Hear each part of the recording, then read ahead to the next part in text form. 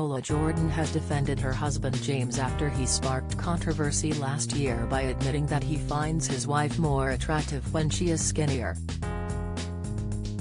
After Ola gained weight following the birth of her first child, and after the COVID pandemic took a toll, her husband James, 45, admitted that he prefers Ola when she is three stone lighter. Naturally, the remark caused widespread outrage, with Strictly Come Dancing stars labeling James as misogynistic, however, Ola insists that it's the wake-up call that both of them needed to alter their unhealthy lifestyles. Back in August, James sparked fury when he said, Sex is definitely not better with the mom and dad bods, I can't throw her about anymore like I am used to doing.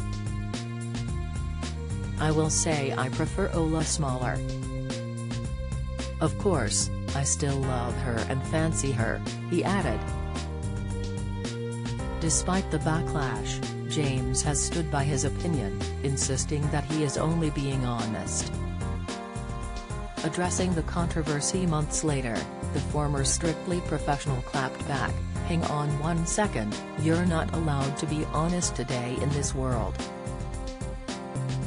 There's no man, let me tell you ladies out there, there's no man in the world who will say, oh no, I much prefer my wife being much bigger and heavier.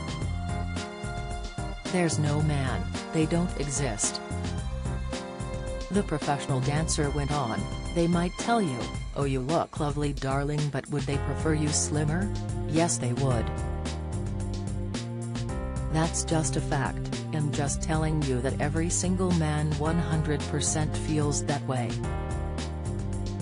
Defending her husband's comments this week after the pair shed over 6 stone together after overhauling their lifestyle, Ola said the comments were taken the wrong way. Speaking to OK! magazine, the mum of one shared, the comments were taken in the wrong way. After I posted the picture, a lot of people said there was nothing wrong with how I looked and that I seemed happy. I wasn't. I was fed up with putting the same old stretchy dress on when we were on holiday and James could tell I wasn't happy. Meanwhile, James said, people chose to be offended by it on Ola's behalf, which I find bizarre. Do I prefer my wife being healthier? Yes, I do. Does anyone want their wife to be miserable? No.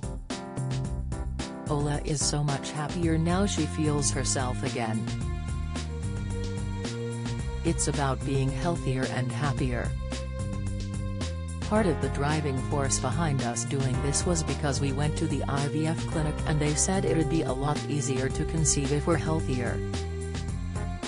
We were told we were nearing the obese side and it was the wake-up call we needed, he added. It comes after Ola revealed that she dropped a whopping three dress sizes in just four months in a bid to completely overhaul her lifestyle. The former Strictly Come Dancing professional, 40, went from a size 14 to a size 8 in just four months after discovering that her health was at risk due to her weight.